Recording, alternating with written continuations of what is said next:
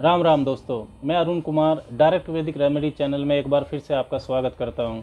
दोस्तों, आज चर्चा करेंगे बृहस्पति ग्रह, गुरु, जब कुंडली के छठे भाव में होते हैं तो क्या संकेत मिलते हैं? Understanding of Jupiter in the six house of your horoscope Brihaspati को अगर समझे तो बृहस्पति सभी ग्रहों में नैसर्गिक रूप से नेचुरली मोस्ट बेनिफिक प्लेनेट है, सबसे शुभ ग्रह है।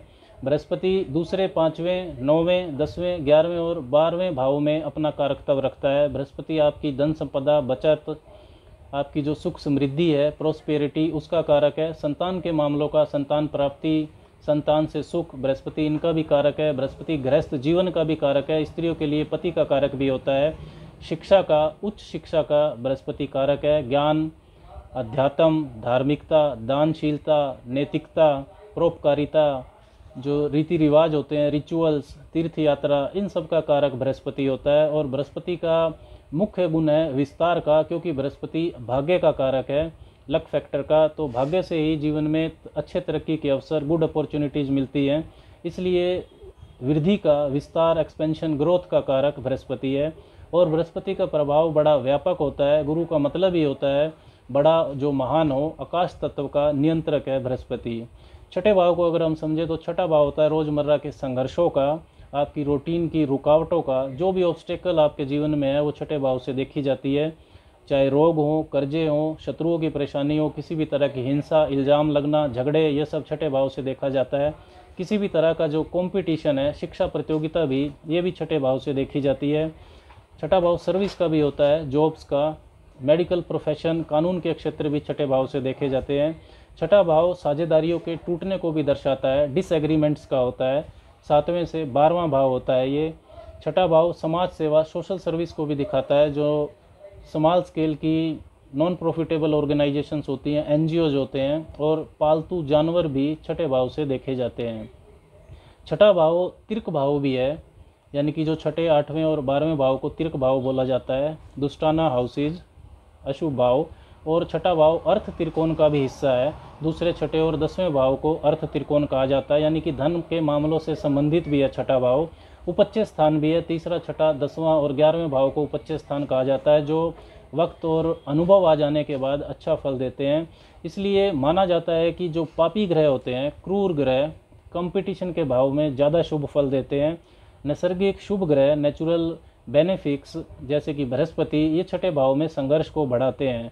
बृहस्पति वैसे ही विस्तार का, वृद्धि का कारक है एक्सपेंशन का। तो बृहस्पति अगर छठे भाव में है तो आपका ज्ञान बुद्धिमता विजडम आशावादी, सोच, दार्शनिकता, ये सब छठे भाव की चीज़ों में ज़्यादा लगेगी। रोगों से अगर आपका सामना हो सकता है कि बढ़ जाए, बृहस्पति अगर छठे भाव में है और कमज़ोर और पीड़ित भी हैं तो ओबेसिटी मोटापे की, चर्बी की समस्या दे सकते हैं हाई कोलेस्ट्रॉल लीवर की समस्या डायबिटीज़, पाचन तंत्र की समस्या, ये सब हो सकती है। बृहस्पति की जो नौवीं दृष्टि है, वो दूसरे भाव पर जाती है, जो कि इनटेक ऑफ़ फ़ूड भोजन का होता है। तो बृहस्पति भोजन प्रिय बनाता है ओवर ईटिंग ऑफ़ फ़ूड हो सकता है।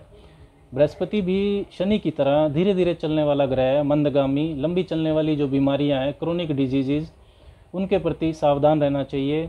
ज़्यादा जो नकारात्मक फल है बृहस्पति का, वो तभी होगा जब बृहस्पति आपके लग्नेश का शत्रु भी है, पहले भाव के मालिक का शत्रु भी है और ज़्यादा सावधानी बृहस्पति की दशा में ही रखने की ज़रूरत होती है।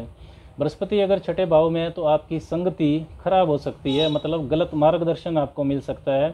गलत संगति के गलत मार्गदर्शन देने वाले लोगों के संपर्क में आप आ सकते हैं, स्वार्थी लोगों के संपर्क में आ सकते हैं।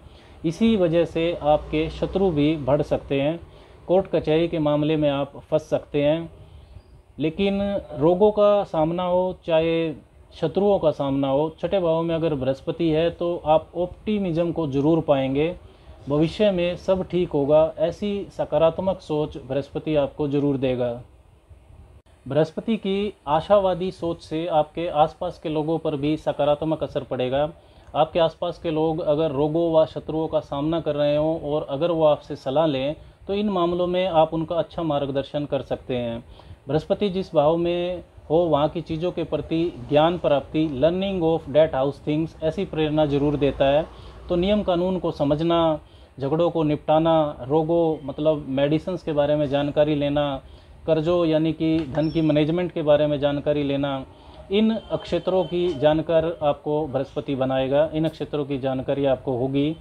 कुंडली में अगर अन्य शुभ योग भी हों तो आप वकालत के क्षेत्र में डॉक्टर हीलर भी हो सकते हैं। झगड़ों का निपटारा करने में आपकी बुद्धिमत्ता ज़रूर काम करेगी। एचआर डिपार्टमेंट्स, फाइनेंशियल जो मैनेजमेंट होता है, फाइनेंशियल कंसल्टेंसी होती है, इन क्षेत्रों में आप अच्छा कर सकते हैं। बृहस्पति संतान का कारक भी है। इस मामले में बृहस्पति का छठे भाव में आना शुभ नहीं माना जाएगा।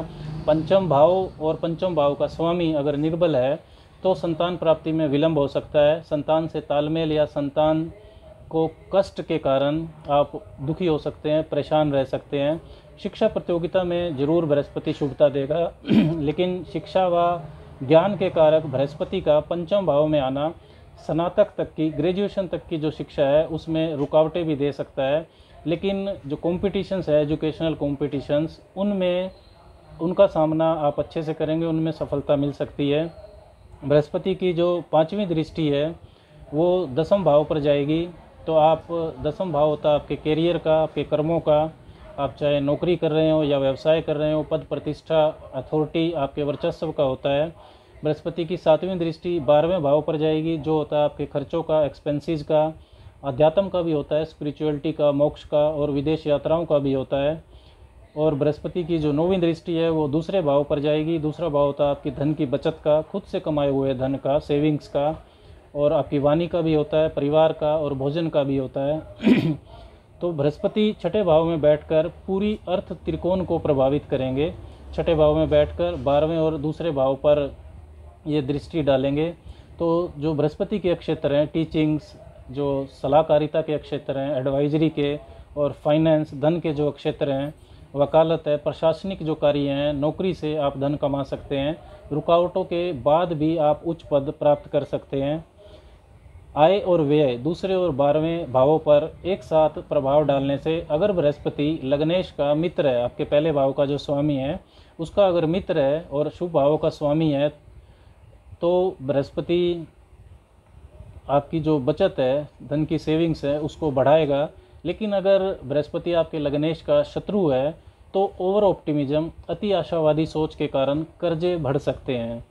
दसवां भाव और बारहवें भाव पर एक साथ दृष्टि डालने से आप शिक्षा के लिए या करियर के लिए विदेश यात्रा कर सकते हैं, ऐसे बृहस्पति की दशा, अंतरदशा में। अध्यात्म ध्यान मेडिटेशन के लिए भी प्रभाव शुभ रहेगा। समाज सेवा या पशु पक्षियों के संरक्षण से भी आप ज़रूर जुड़ेंगे। दोस्तों, छठे भाव में होने पर बृहस्पति के ये जो मैंने फल आपको बताए हैं, इन फलों में अन्य ग्रहों के प्रभाव से बदलाव होना संभव है। आज के लिए बस इतना ही। राम राम।